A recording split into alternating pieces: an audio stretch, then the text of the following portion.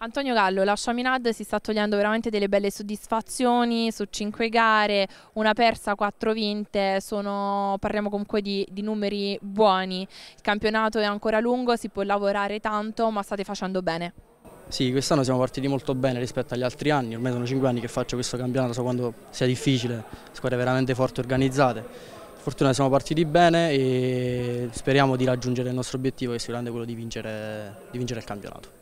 Ecco, un, ci sono squadre anche tanto ostiche, l'Arcadia Termoli era una bella squadra, vi ha dato del filo da torcere, non era una partita semplice, la Chaminade ha iniziato in maniera forse un po' troppo lenta, però poi ha dato vita a una buona prova. Esatto, siamo partiti di svantaggio, con due gol di svantaggio, siamo stati bravi a portarci sul pareggio e a ribaltarla, dando molta aggressività attaccandoli dal primo all'ultimo minuto e siamo riusciti a portare a casa il risultato. Invece sul campionato in generale hai già visto un po', conosciuto un po' le altre squadre, quindi che cosa ti senti di dire?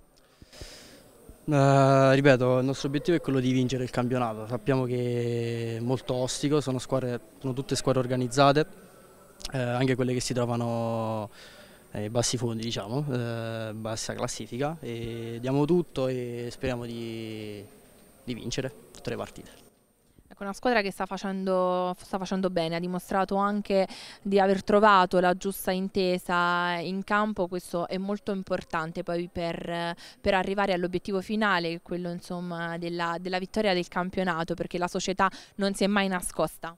Esatto, quest'anno siamo un gruppo totalmente nuovo, sono cambiati molti volti, sono rimasti in pochi